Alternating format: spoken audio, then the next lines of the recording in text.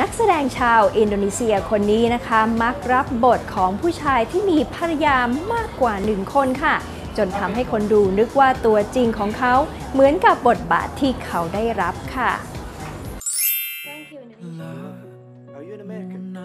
เฟดดี้นูริลนักแสดงชาวอินโดนีเซีย รับบทเป็นฟารีจากภาพยนตร์เรื่องอายัตอายัตชินตาเมื่อปี 2551 ยเป็นภาพยนตร์ที่ทำสถิติมีผู้ชมกว่า 3.6 ล้านคนในอินโดนีเซีย ตัวละครตัวนี้แต่งงานกับไอชา สาวสวยที่มาจากครอบครัวร่ำรวย แต่เขาหลงรักผู้หญิงอีกคนที่มีชื่อว่ามาริยา และต้องการมาริยามาเป็นภรรยาอีกคน โดยไม่ต้องการทอดทิ้งภรรยาคนแรกเฟดดี้วัย 35 ปี ถูกทับทามให้มาแสดงอายัดอายัดชินตาภาคสองเรื่องราวผ่านไปหลายปี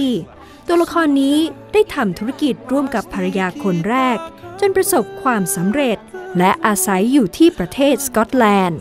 แต่เรื่องราวเข้มข้นมากขึ้น เมื่ออยู่ๆเธอก็หายตัวไป ส่วนเขาคิดว่าควรจะรอเธอ หรือว่าเดินหน้าชีวิตต่อไป หลังจากที่เฟดดี้แสดงภาพยนตร์เรื่องอายัดอายัดชินตาภาคแรก เขาก็ได้รับบทจากอีกเรื่อง ในบทบาทของผู้ชายที่มีภรรยาหลายคน Kaya aku Fari Aku mohon Fari Selama ini yang kamu lakuin itu karena siapa? Karena apa? Apa udah karena Allah? Tolong doakan istri saya,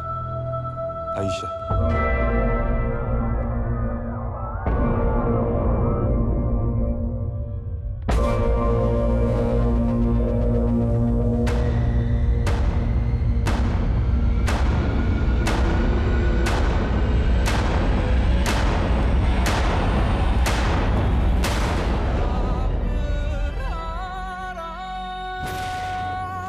เขาเล่าว่าเรื่องนี้ ทำให้เขาไม่มั่นใจว่า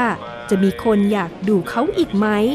ในตอนที่ถ่ายทำภาคสองแต่ภายในสองสัปดาห์หลังจากการเปิดตัว ก็มีคนดูแล้ว 2 ล้านคนค่ะ เขาเล่าว่าเขาเคยเป็นห่วงภาพพจน์ตนเอง